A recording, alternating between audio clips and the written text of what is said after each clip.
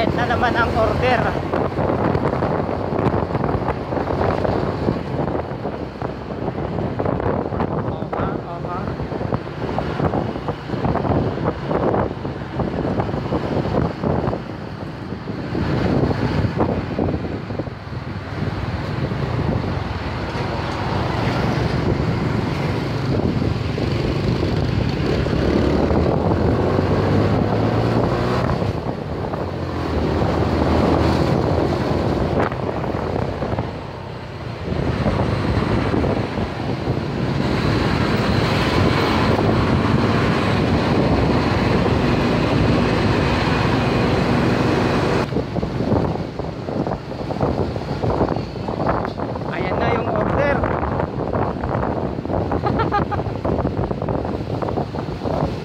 Awan makita tababan na eh.